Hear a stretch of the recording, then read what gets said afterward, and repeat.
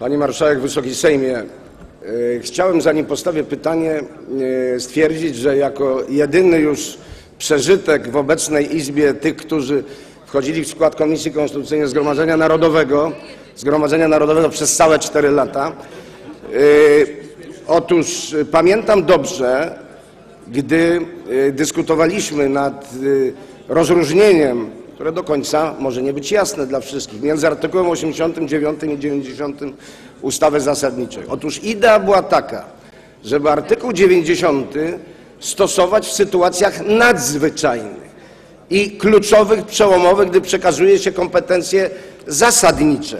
I to się działo dwukrotnie do tej pory, między innymi ostatni raz w przypadku traktatu y, z Lizbony. Natomiast niezależnie od tego, że wówczas za pierwszym razem, gdy przyjmowaliśmy Bułgarię i Rumunię, obowiązywał jeszcze traktat z Nicei w pewnym aspekcie, przepraszam pani marszałek, szkoda, że ten mechanizm nie został uruchomiony, kiedy pan poseł Dorn przemawiał przez Był pięć minut. uruchomiony. Był. To sytuacja jest jednak analogiczna. My się musimy przyzwyczaić, że do Trybunału Konstytucyjnego będą regularnie wnoszone wnioski, podobnie jak i w Niemczech.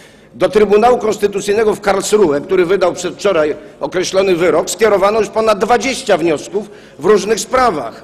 W różnych sprawach i to nawet deputowani rządzącej CDU. Krótko mówiąc, ja dostrzegam w tym element szantażu. Przykro mi to powiedzieć, element szantażu ze strony dwóch e, klubów prawicowych, bo gdyby one nie dysponowały blokującą większością jedno i trzeciej, nigdy by tej mierze nie występowały. Więc chciałem skierować pytanie do przedstawiciela rządu, czy mógłby wyjaśnić, dlaczego nie zachodzi jakościowa różnica między przyjmowaniem Bułgarii i Rumunii, a w tym przypadku Chorwacji?